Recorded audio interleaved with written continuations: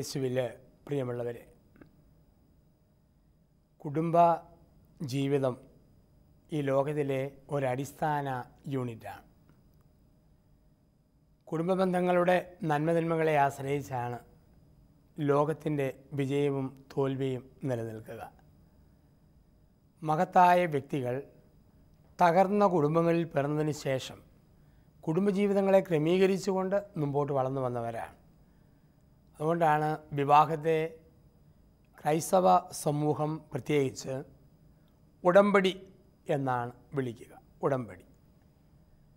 അപ്പോൾ അതൊരു ഉടമ്പടി ഉടമ്പടിയായിട്ട് തീരണമെങ്കിൽ അതിന് നാല് ഘടകങ്ങൾ ആവശ്യമായിട്ടുണ്ട്. ഒന്ന് നൽകൽ.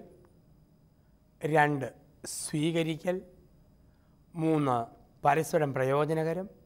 നാല് നിയമ സാധുത ഇത് നാലും ഉള്ളപ്പോഴാണ് ഒരു ഉടമ്പടി ഉടമ്പടിയായിട്ട് മാറുക. ഉടമ്പടിയിൽ ഒരു നൽകലുണ്ട്. ഒരു പുരുഷൻ തന്നെ തന്നെ പൂർണമായി ഭാര്യയ്ക്ക് നൽകുന്നു. ഭാര്യ തന്നെ തന്നെ ഭർത്താവിന് പൂർണമായി നൽകുന്നു. അതിന് വിളിക്കുന്ന വാക്കൽ നൽകൽ. ഒരു നൽകലില്ലാത്തടത്ത് ഉടമ്പടിയില്ല. സ്വയം മറന്ന് സ്വയം ശൂന്യവൽക്കരിച്ച് ഒരു സ്വയം ദാനമായി ദമ്പതികൾ പരസ്പരം അങ്ങോട്ടും ഇങ്ങോട്ടും നൽകണം. പരസ്പരം ശരീരം നൽകണം മനസ്സിന് സ്വപ്നങ്ങൾ നൽകണം ചിന്താഗതികളെ നൽകണം ഭാവനകളെ നൽകണം. ഒന്നും സ്വന്തമായിട്ടില്ല. ഭർത്താവിന് ഭാര്യ പൂർണമായി നൽകുന്നു. ഭാര്യയ്ക്ക് ഭർത്താവ് പൂർണമായി നൽകുന്നു. അപ്പോൾ ഉടമ്പടിയുടെ ഒന്നാമത്തെ ഘടകം വിഭാഗത്തിലുണ്ട് നൽകൽ. രണ്ട് സ്വീകരിക്കൽ. നൽകുമ്പം സ്വീകരിക്കാൻ ആൾ വേണം. ഭർത്താവിനെ ഭാര്യ സ്വീകരിക്കുക ജീവിതത്തിലേക്ക്. ഭാര്യയെ ഭർത്താവ് സ്വീകരിക്കുന്നു ജീവിതത്തിലേക്ക്. ഒരു സ്വീകരിക്കൽ.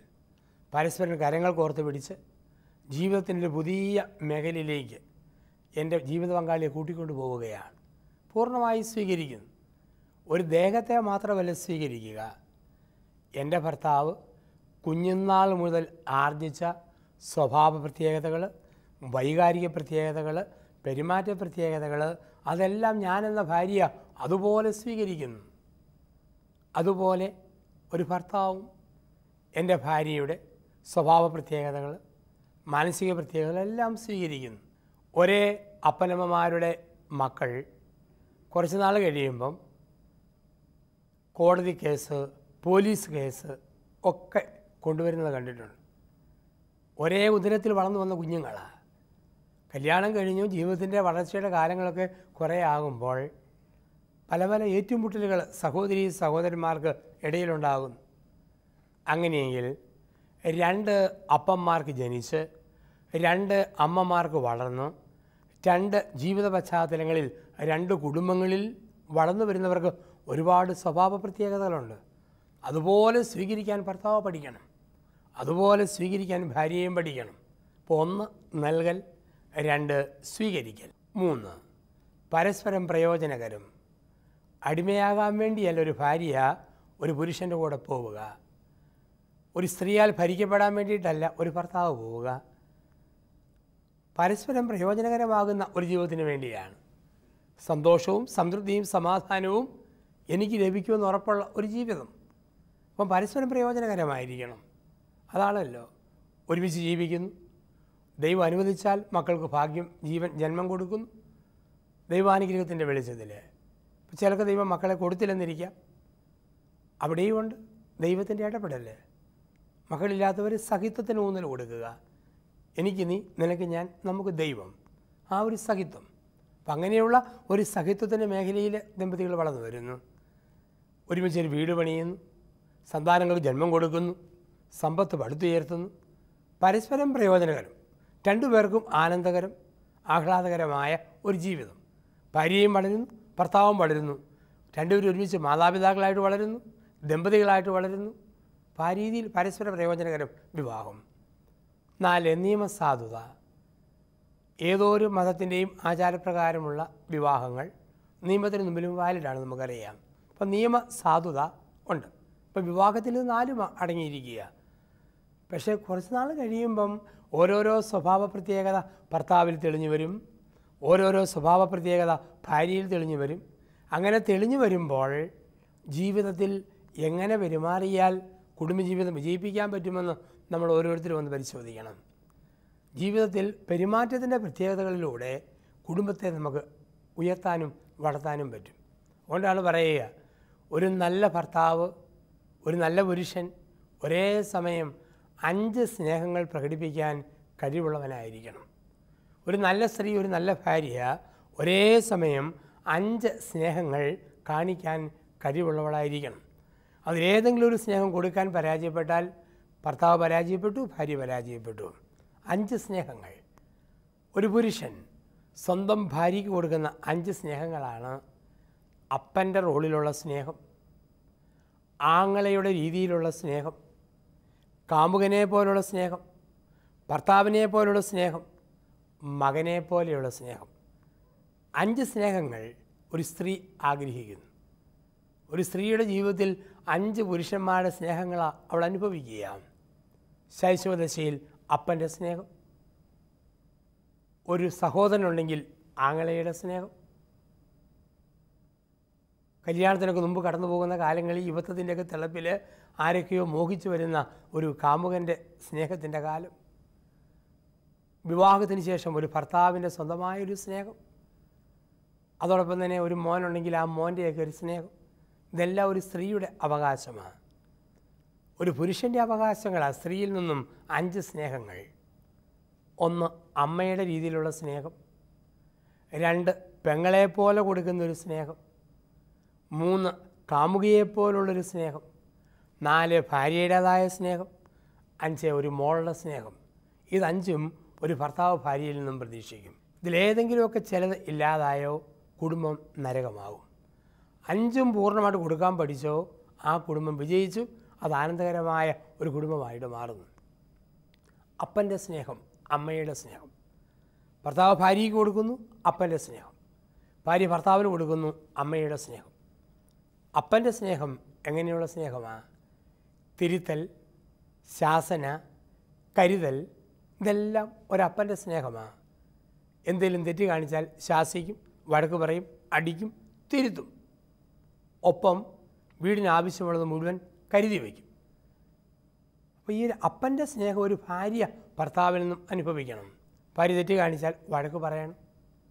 കുഞ്ഞുങ്ങൾ തെറ്റ് ചെയ്യുമ്പം വഴക്ക് പറയും. ഭാര്യയെ തിരുത്തണം. അതോടൊപ്പം തന്നെ ഭാര്യയ്ക്ക് ആവശ്യമായത് കുടുംബത്തിൽ കരുതണം. അപ്പന്റെ സ്നേഹമാണ്. സ്വന്തമായൊരു വീടുണ്ടാക്കുക ഉടുക്കാൻ തുണി കഴിക്കാൻ ഭക്ഷണം ആരോഗ്യത്തിന് മരുന്ന് മതപരമായിട്ടുള്ള പ്രാക്ടീസുകൾക്കുള്ള സ്വാതന്ത്ര്യം ഇതെല്ലാം കൊടുക്കുമ്പോൾ ഒരു അപ്പന്റെ സ്നേഹമാണ് ഭാര്യ ഭർത്താവിൽ നിന്ന് അനുഭവിക്കുക. കരുതലുള്ള സ്നേഹം കരുതലുള്ള സ്നേഹം. ഇടയ്ക്കിടയ്ക്ക് ഈ അപ്പൻ സ്വഭാവം ഭർത്താവിൽ പൊങ്ങി വരും. ഇടയ്ക്കിടയ്ക്ക്. ഞാൻ പറയുന്ന പോലെ കേട്ടാൽ മതി. നീ ഒന്നും മിണ്ടണ്ട. ഇതൊക്കെ അപ്പൻ ക്യാരക്ടർ ഇടയ്ക്കിടയ്ക്ക് പൊങ്ങി വരിക. അത് ഭാര്യ മനസ്സിലാക്കുക. ഇനി ഒരമ്മയുടെ സ്നേഹം ഭാര്യ ഭർത്താവിന് കൊടുക്കണം. അമ്മയുടെ സ്നേഹം. വീട്ടിലെ വൃത്തി ചിട്ടയായി വീട്ടിലെ കാര്യങ്ങളൊക്കെ ചെയ്യുന്നു. ഭർത്താവിന്റെയും മക്കളുടെയും ആത്മീയ കാര്യങ്ങളിൽ ഒരന്വേഷണം ഉത്സാഹം. ഇതൊക്കെ ഒരു ഭാര്യ കാണിക്കുമ്പം ഭർത്താവ് അനുഭവിക്കുന്നത് ഒരു അമ്മയുടെ സ്നേഹമാണ് സ്വന്തം ഭാര്യയിൽ നിന്നും. ഒരമ്മയുടെ സ്നേഹം. ചില സമയത്ത് ഭർത്താവിനെ ശാസിക്കും ഇങ്ങനെ പെരുമാറിയാൽ പോരാ. ഇതെല്ലാം ഒരു പോക്ക? ഇങ്ങനെയാണ് ചെയ്യുന്നത്. അപ്പം ആ സമയത്ത് ഓർക്കണം ഒരു അമ്മ റോൾ എന്റെ ഭാര്യയിൽ ഉയർന്നു വരുന്നു. ഭാര്യ അമ്മയെപ്പോലെ ആകുമ്പം ഭർത്താവ് ഉടനെ അപ്പനെ പോലെ ബഹളം വെച്ചേക്കരുത്. അമ്മയെപ്പോലെ ഭാര്യ വരുമ്പം ഭർത്താവ് ഒരു കൊച്ചിനെ പോലെ വിളയാൻ പഠിക്കണം മോനെ പോലെ ആകണം അവിടെ ഭാര്യ തണുക്കും. ഭർത്താവ് അപ്പനെ പോലെ ആകുമ്പം ഭാര്യ അമ്മയെപ്പോലെ ഗൗരവം പിടിക്കരുത്. ഒരു മോളെ പോലെ വിളയണം. അവൾ അപ്പോൾ അപ്പൻ തണുത്തു വരും. അപ്പോൾ തിരുത്തുന്ന കരുതുന്ന ശാസിക്കുന്ന ഒരു സ്നേഹം അത് ദമ്പതികൾ തമ്മിൽ തമ്മിൽ കൊടുക്കണം. ഞങ്ങൾ വിവാഹിതര വളരെ സീരിയസ് ആണ്. ഇനി എന്നും അപ്പൻ അമ്മ റോൾ ആണ് ഞങ്ങൾ. അങ്ങനെ പറഞ്ഞേക്കരുത്. അങ്ങനെ വന്നാൽ കുടുംബം നരകമായിട്ട് മാറും. വല്ലാത്ത പിരിമുറുക്കമാകും. അസ്വസ്ഥതയാകും. ഈ രണ്ട് സ്നേഹം മാറി മാറി കൊടുക്കുക. അപ്പന്റെ സ്നേഹം ഭർത്താവ് ഭാര്യയ്ക്ക് കൊടുക്കുക അമ്മയുടെ സ്നേഹം ഭാര്യ ഭർത്താവിന് കൊടുക്കുക അങ്ങനെ കുടുംബത്തെ ദൈവോന്മുഖമായി വളർത്തിക്കൊണ്ട് വരിക.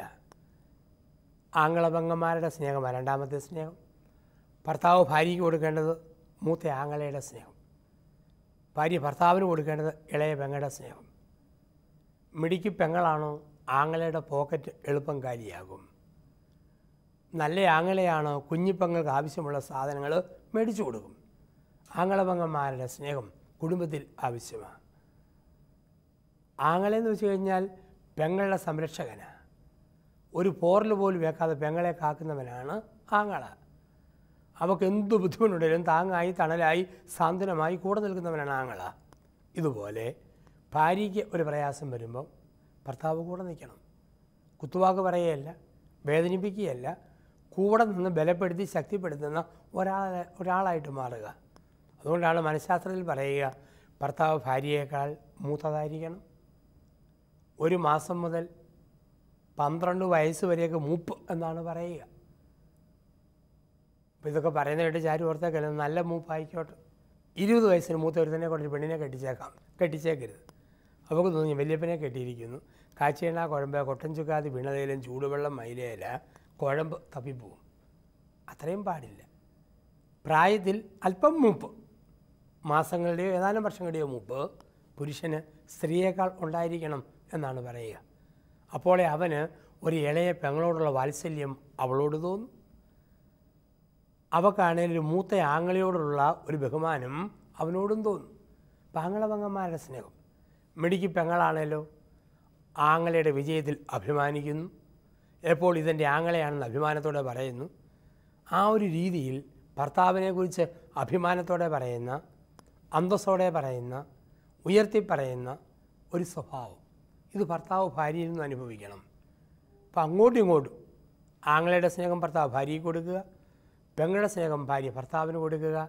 അവിടെ കുടുംബം സന്തോഷത്തിന്റെ ഒരു വർദ്ധീസയായിട്ട് മാറുന്നു അപ്പന്റെ സ്നേഹം അമ്മയുടെ സ്നേഹം ആങ്ങളയുടെ സ്നേഹം പെങ്ങളുടെ സ്നേഹം.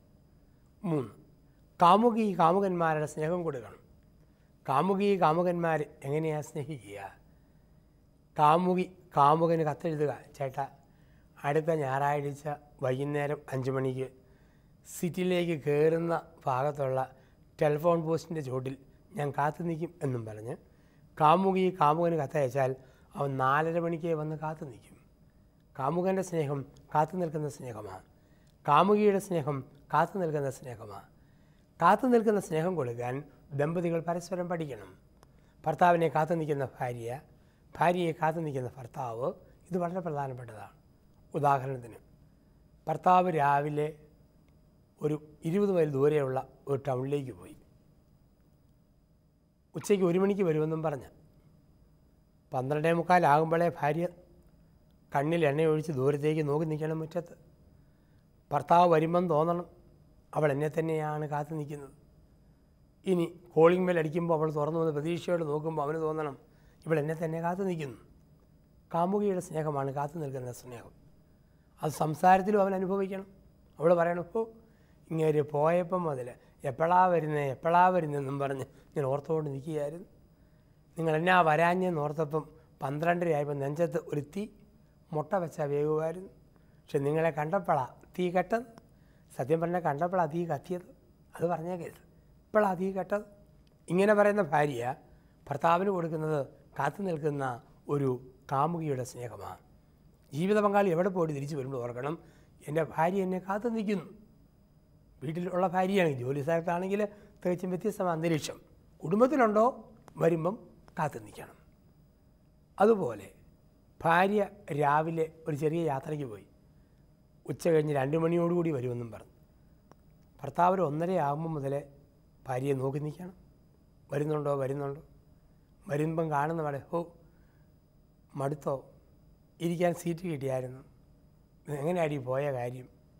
നീ പോയപ്പോൾ മുതൽ വീട്ടിലൊരു അനക്കവും ഇല്ല.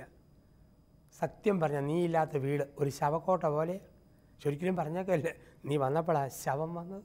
അങ്ങനെ പറഞ്ഞേക്കരുത്. ശവക്കോട്ട പോലെയാ. ഓ നിന്നെ കിട്ടി തന്നെ മഹാഭാഗ്യം. ഇങ്ങനെ പറഞ്ഞ് ഭാര്യയുടെ കൈക്ക് പിടിച്ച് ഭർത്താവ് അകത്തേക്ക് പോകുമ്പോൾ അവൻ അവൾക്ക് കൊടുക്കുന്നത് കാത്തു നിൽക്കുന്ന ഒരു കാമുകന്റെ സ്നേഹം. ജീവിതത്തിൽ ഈ കാത്തുനിൽപ്പ് പരസ്പരം കൊടുക്കണം. ചിലപ്പോഴൊക്കെ സംഭവിക്കുന്നത് കാത്തു നിൽക്കാൻ സമയമില്ലല്ലോ. ഭർത്താവ് വന്ന് കയറിയത് പറഞ്ഞില്ല കിടന്നുറങ്ങിയത് പറഞ്ഞില്ല. നാല് മണിക്ക് ചായ കുടിക്കാൻ വരുമ്പോൾ ഹാ ഇങ്ങേര് വന്നായിരുന്നു? ഞാനടുത്ത് പോയടുത്ത് തന്നെയാണ് എത്തിയില്ലെന്ന്. ചില വീടുകൾ അങ്ങനെയല്ലേ? അതുപോലെ ഭാര്യയെ നോക്കി ഓ നീ എത്തിയല്ലേടി? ഞാനടുത്ത് ഇപ്പോഴെങ്ങും വരികയായിരുന്നു. ഒരു കാത്തുനിൽപ്പ് വളരെ പ്രധാനപ്പെട്ടതാണ് വരുന്ന സമയത്ത് തോന്നണം എന്നെ നോക്കി ഒരാൾ നിൽപ്പുണ്ട് എന്നെ കാത്ത് ഒരാൾ നിൽപ്പുണ്ട് ആ ഒരു അന്തരീക്ഷം കുടുംബത്തിലുണ്ടാകുക അതിന് വിളിക്കുന്ന വാക്ക് കാമുകന്റെ സ്നേഹം കാമുകിയുടെ സ്നേഹം. ഈ വചനം കേൾക്കുന്നവരെ ഓർക്കുക. കഴിഞ്ഞകാല ജീവിതത്തിൽ ഇപ്രകാരം പെരുമാറുവാൻ കഴിഞ്ഞിട്ടുണ്ടോ? കാത്തു നിൽക്കാൻ കഴിഞ്ഞിട്ടുണ്ടോ? അതോ ഒരു ശ്രദ്ധയില്ലാതെ ഒരു കരുതലുമില്ലാതെ അവജ്ഞയോടുകൂടി ഭാര്യയുടെ സാന്നിധ്യത്തെ തള്ളിക്കറിഞ്ഞ ഭർത്താവാണോ ഞാൻ? ഭർത്താവിന്റെ സാന്നിധ്യത്തെ തള്ളിക്കളഞ്ഞ ഭാര്യയാണോ ഞാൻ? കാത്തു നിൽക്കുന്നൊരു സ്നേഹം കൊടുക്കാൻ മത്സരിക്കുക. വീണ്ടും ഭർത്താവിന്റെ സ്നേഹം ഭാര്യയുടെ സ്നേഹം. ഭർത്താവെന്ന് പറയുമ്പോൾ ഒരു വ്യാഖ്യാനം ചുമക്കുന്നവൻ എന്നുകൂടിയുണ്ട്. ഭാര്യ എന്ന് പറയുമ്പോൾ മൂലപദത്തിൽ ചുമക്കപ്പെടേണ്ടവൾ എന്നുകൂടി ഒരർത്ഥമുണ്ട്. ഭർത്താവ് കുടുംബത്തിന്റെ ഉത്തരവാദിത്തങ്ങൾ മുഴുവൻ ചുമക്കേണ്ടവനാണ്. ആ ഉത്തരവാദിത്വ ബോധം ഭർത്താവിൽ ഭാര്യ കാണണം കുഞ്ഞുങ്ങൾ അനുഭവിക്കണം.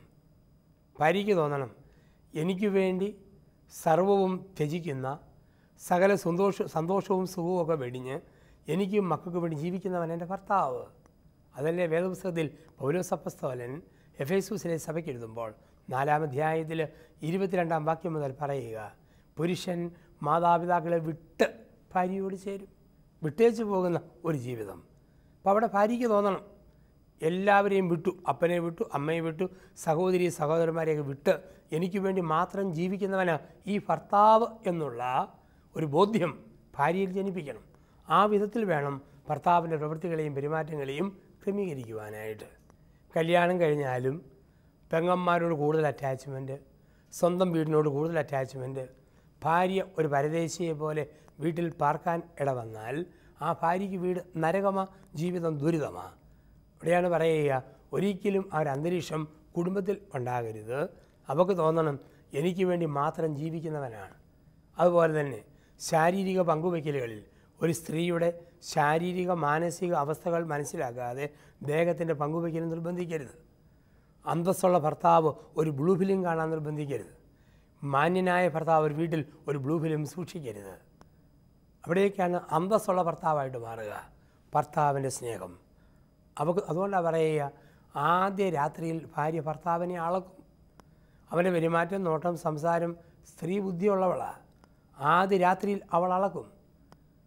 അന്തസ്സുള്ള പെരുമാറ്റവും ഒരു രീതിയും കണ്ടു കഴിഞ്ഞാൽ പിന്നെ വെറുതെ വിളയാനൊന്നും വരികയില്ല. അവക്കറിയാം എന്റെ പിള്ളകളെയും വിളച്ചിലും ഒന്നും ഈ മനുഷ്യന്റെ അടുക്കൽ നടക്കുകയില്ല. അതേ സമയം അവക്ക് തോന്നുക ഇവനെ എങ്ങനെയും കൈകാര്യം ചെയ്യാം. പിന്നെ തലേ കയറുന്ന നരങ്ങും ഒരിക്കലും കുടുംബത്തിൽ ഭർത്താവിന് ഭാര്യയുടെ മേലൊരു നിയന്ത്രണം ഇല്ലാതാകും. ഇപ്പോൾ തോന്നണം ഒരു പുരുഷത്വമുള്ളവനെ പോലെ പെരുമാറാൻ ഒരു ഭർത്താവ് പഠിക്കണം. അതുപോലെ ഒരു ഭാര്യ ഒരു ഭർത്താവിന്റെ അവകാശങ്ങൾ നിഷേധിക്കരുത്. ശാരീരികമായ അവകാശങ്ങൾ അവന്റെ കൂടെ സമയം ചെലവഴിക്കണം അവൻ ആവശ്യം അവനോടൊപ്പമായിരിക്കുക. ഇതൊക്കെ അവകാശങ്ങളാണ് അങ്ങോട്ടും ഇങ്ങോട്ടും ഭർത്താവ് ഭാര്യയെ കേൾക്കണം ഭാര്യ ഭർത്താവിനെ കേൾക്കണം. ഏകപക്ഷീയമായ ഒരു തീരുമാനം എടുക്കരുത്. എല്ലാം ഭർത്താവിന്റെ അനുഭാവത്തോടു കൂടി. അതൊക്കെയല്ലേ ഒരു ക്രൈസ്തവ കുടുംബത്തിലെ നല്ല അമ്മ ഭക്തിമാരുടെ പാരമ്പര്യം എന്നൊക്കെ നമ്മൾ പറയുക. അപ്പോൾ അവിടെ പരസ്പരം ദേഹത്തിന്റെ പങ്കുവയ്ക്കലിൽ പരസ്പര സഹകരണം ചിന്തകളുടെ പങ്കുവയ്ക്കലിൽ ആത്മീയ കാര്യങ്ങളുടെ പങ്കുവയ്ക്കലിലൊക്കെ അങ്ങോട്ടും ഇങ്ങോട്ടും ഒരു ധാരണ വേണം. ധാരണയില്ലാതെ ഒറ്റയ്ക്ക് ഒരു തീരുമാനം ഒന്നിനും എടുക്കരുത്. അത് ഭർത്താവിന്റെ സ്നേഹം ഭാര്യയുടെ സ്നേഹം. അഞ്ച്. മകന്റെയും മകളുടെയും സ്നേഹം. മകനും മകളും എങ്ങനെയാണ് സ്നേഹിക്കുക? മകനും മകളും സ്നേഹിക്കുന്ന രീതി അല്പം വെളച്ചിലും പിള്ളകളിയും കളിതമാശയൊക്കെ ചേർന്നതാണ് മകന്റെയും മകളുടെയും സ്നേഹം. അപ്പം ചാരികസരെ കാലം നീണ്ടിരിക്കുന്നു മക്കൾ ഓടിച്ചെല്ലും.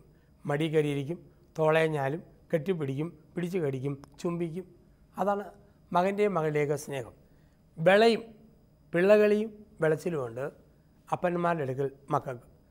ഇതുപോലെ കുടുംബത്തിൽ അല്പം വിളച്ചിലും കളിതമാശ പറച്ചിലുമൊക്കെ ദമ്പതികൾക്കിടയിലുണ്ടാകണം ചില ഭാര്യാഭർത്താക്കന്മാർക്ക് ഒരു ചിന്ത. പത്തോ എഴുപതോ വയസ്സ് കഴിഞ്ഞാൽ പിന്നെ കളിതമാശം പിള്ളകളിയൊന്നും വേണ്ട. ചില സ്ത്രീകൾ ഭർത്താവിനോടും മറ്റും പറയും പൊന്നു മനുഷ്യ നമുക്കിനി കളിതമാശവും ഭർത്താവിനൊന്നും വേണ്ട. കരണ്ട് പോയ മോർച്ചറിയിലെ മൂന്നാം ദിവസപ്രേതം പോലെ നമുക്കങ്ങ് ഇരുന്നാൽ മതി. അത് വിവരം കേട്ട സംസാരങ്ങളാണ് വിവരം കേട്ട പ്രവൃത്തികളാണ്. ജീവിതത്തിൽ കളിയതമാശും പിള്ളകളിയും ഒക്കെ വേണം.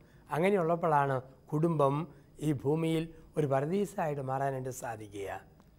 ഭാര്യയോട് തമാശ പറയുന്ന ഭർത്താവ് ഭർത്താവിനോട് തമാശ പറയുന്ന ഭാര്യ വെറുതെ കൊച്ചുകളിയും പിള്ളകളിയും കളിതമാശയും വെളച്ചിലും വേണം.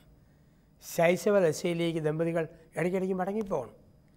യുവത്വത്തിന്റെ ഭാവങ്ങളിലേക്ക് മടങ്ങിപ്പോകണം. ഇതൊക്കെ നമുക്ക് ആവശ്യമാണ് ചിലപ്പോൾ സംഭവിക്കുന്നത് ഒരു കുഞ്ഞായാൽ പിന്നെ അവൾ ഓർക്കും ഞാൻ അമ്മ മാത്രമാ പിന്നെ അവൾ ഭാര്യയുടെയും കാമുകിയുടെയും പെങ്ങളുടെയും ഒക്കെ വാത്സല്യത്തിന്റെയും ഒരു മകളുടെ വെളച്ചിന്റെയും കാര്യം മറന്നു. കൊച്ചു മാത്രം ശരണം അതിലേക്ക് തന്നെ തിരിയും. അറിയാതെ മനസ്സകലാൻ തുടങ്ങും. ചില ആണുങ്ങളുമുണ്ട് ഒരു കുഞ്ഞായാൽ പിന്നെ ഞാൻ അപ്പൻ അപ്പന്റെ ഗൗരവം അതിനപ്പുറത്തേക്ക് ഒന്നുമില്ല. അവനിലെ ഭർത്താവിന്റെ ഭാവം മാറുന്നു. കാമുകന്റെ ഭാവം മാറുന്നു ആങ്ങളയുടെ ഭാവം മാറുന്നു ഒരു മകന്റെ ഭാവം മാറുന്നു. ഇതൊരു വലിയ വിപത്തിലേക്കാണ് സൂചിപ്പിക്കുക. അപ്പോൾ ജീവിതത്തിൽ ഈ മൂന്ന് ഭാവങ്ങളിലും എല്ലാ ഭാവങ്ങളും അഞ്ച് ഭാവങ്ങളും ഒരുമിച്ചടങ്ങുക. ഇതെല്ലാം കൂടെ വരുമ്പോഴാണ് കുടുംബം ഈ ഭൂമിയിൽ സ്വർഗത്തിന്റെ പതിപ്പായിട്ട് മാറുക. ഒരിക്കൽ ദൈവം തന്ന ജീവിതം ആ ജീവിതത്തെ ആസ്വദിക്കാൻ പഠിക്കുക. സന്തോഷത്തിൽ സ്നേഹത്തിൽ ആ ജീവിതം ആസ്വദിക്കുമ്പോൾ അവിടെ ദൈവാനുഗ്രഹമുണ്ട്. അവിടെ ദൈവകൃപയുണ്ട് ആത്മാവിന്റെ അഭിഷേകമുണ്ട്. അങ്ങനെ ആത്മാവിന്റെ അഭിഷേകമുള്ള ദൈവത്തിന്റെ കൃപയുള്ള ഒരു കുടുംബമായിട്ട് കുടുംബജീവിതം മാറണം. ഒന്നും ആകസ്മികമല്ല. ദൈവം തന്നതാണ് എന്റെ ഭാര്യ. ദൈവം തന്നതാണ് എന്റെ ഭർത്താവ്. ദൈവം തന്നതാണ് എന്റെ ജീവിതം. അതിൽ പ്രത്യേകതകളൊന്നുമില്ല. ദൈവം തന്നു ദൈവം ഏൽപ്പിച്ചു ആകസ്മികതകളൊന്നുമില്ല. അത് ദൈവത്തിന്റെ പ്ലാനാണ്. ആദ്യം മുതലേ ദൈവമേൽപ്പിച്ചു ദൈവകരങ്ങളിലേക്ക് ആദത്തിന് ഹൗവയായി യവ്സേബിന് മറിയമായി അബ്രഹാമിന് സാറയായി ദൈവം കൊടുത്തു. അതിന്നും തുടരുന്നു. ഓരോ പുരുഷനും ദൈവം തന്ന ഭാര്യയിലൂടെ. വ്യക്തിപരമായ സ്വഭാവ വ്യത്യാസങ്ങൾ കാണാം. വൈകാരിക പ്രകടനങ്ങളിൽ വ്യതിയാനമുണ്ടാകാം. പക്ഷേ അടിസ്ഥാനപരമായി ഒന്നാണ്. ഇനിമേൽ ഒന്നാണ്. അതുകൊണ്ടാണ് മത്തായിയുടെ സുവിശേഷത്തിന്റെ പത്തൊമ്പതാം അധ്യായത്തിൽ ആറാം വാക്യത്തിൽ പറയുക ദൈവം യോജിപ്പിച്ചത് മനുഷ്യൻ വേർപെടുത്തരുത്. അങ്ങനെ വേർപെടുത്താനാവാത്ത വിധം അഭിവാജ്യമായി ദൈവം ചേർത്തു. അതുകൊണ്ടാണ് പറയുക വിവാഹത്തിന് ഒരു അവിഭാജ്യതയുമുണ്ട് ഒരു അനന്യതയുമുണ്ട്. ഒരിക്കലും മുറിക്കാൻ പറ്റാത്തത്. അതേസമയം യുണീക്കാണ്. അതിന് തുല്യമായി മറ്റൊന്നില്ല. അതിന് തുല്യമായി വേറൊന്നില്ല. അങ്ങനെ ദൈവം ചേർത്തു ഒരുമിപ്പിച്ചു. അതിന്റെ വിശുദ്ധിയിലും നന്മയിലും കുടുംബത്തെ നയിക്കുവാനും ജീവിതത്തെ ക്രമപ്പെടുത്തുവാനും ഓരോ ഭർത്താവിനും ഭാര്യയ്ക്കും ദൈവം ഉത്തരവാദിത്വം തന്നിരിക്കുന്നു. ആ ഉത്തരവാദിത്വം വിശ്വസ്തയോടെ നിറവേറ്റുമ്പോൾ ദൈവത്തിന്റെ വാക്ക് നമ്മൾ കേൾക്കും. എല്ലാം വിശ്വസ്തയോടെ പാലിച്ച മകനെ മകളെ ആദ്യം മുതലേ ഒരുക്കിയ സ്വർഗരാജ്യത്തിൽ നീ പ്രവേശിക്കുക. വലിയ അത്ഭുതങ്ങളും വലിയ അടയാളങ്ങളും ഒന്നും ഈ ഭൂമിയിൽ വേണ്ട. വിശ്വസ്തയോടെ ഏൽപ്പിച്ച ജീവിതാന്തസ്സിനെ അഭിമാനത്തോടെ ജീവിച്ചു തീർക്കുക. അവർക്ക് പറയാൻ പറ്റും ഓട്ടം പൂർത്തിയാക്കി. ആരാ ഓട്ടം പൂർത്തിയാക്കിയവർ നൽകപ്പെട്ട സമയത്തിനുള്ളിൽ ഏൽപ്പിക്കപ്പെട്ട ജോലികൾ വിശ്വസതയോടെ നിറവേറ്റുക അവരാണ് ഓട്ടം പൂർത്തിയാക്കിയവർ. ഇപ്പോൾ ജീവിതത്തിൽ നൽകപ്പെട്ട ദൗത്യം ഏൽപ്പിക്കപ്പെട്ട സമയത്തിനുള്ളിൽ വിശ്വസതയോടെ പൂർത്തിയാക്കുക നല്ല ഭർത്താവായി നല്ല ഭാര്യയായി നല്ല മക്കളായി ജീവിച്ച് ലോകത്തെ നന്മയിലേക്ക് ഉയർത്തുക ക്രിസ്തുവിന്റെ സഭയിൽ അവനെ മഹത്വപ്പെടുത്തുക.